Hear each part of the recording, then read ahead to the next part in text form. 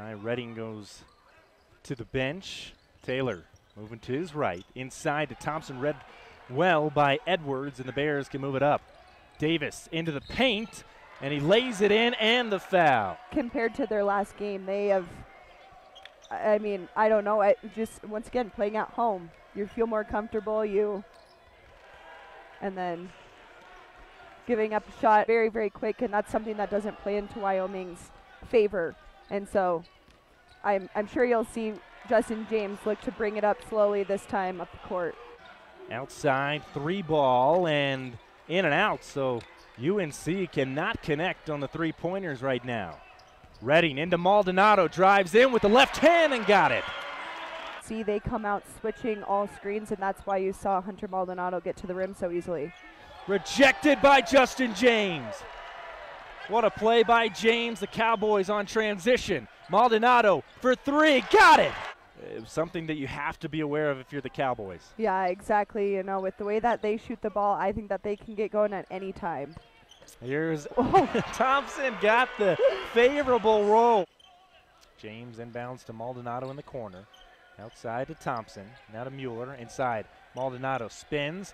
Hands it off to James. He does a little double clutch, but able to lay it in. The heat check for Thompson. Wyoming still with a two point lead. Davis pulls up from the free throw line and he sinks it. James to his left. Thought he had Maldonado a little bit off. Here comes Hume, goes up. Maldonado rejects him. Davis with it. He can't get it. And the Cowboys able to bring it down. Here comes Banks. As we take a look at the block from Maldonado oh, with a couple of moves. Mueller outside, passes back to Redding. Maldonado had the ball tipped for a moment. Now he drives baseline, rejected by Hume.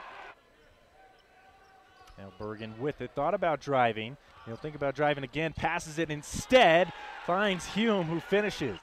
Banks has had a very good game. James with it again. Inside, good pass. Maldonado with the finish. Moves it over, now gets it back. A steal by Maldonado. Redding with it. Now up to James. He makes a strong move, slams it home. What a move by Justin James. hustled by UNC. You see the steal, the pressure, assist by nine, then just a, a slam to fire up the crowd. And with 2.2 seconds left, it is Northern Colorado to come into the Arena Auditorium and win for the second straight year.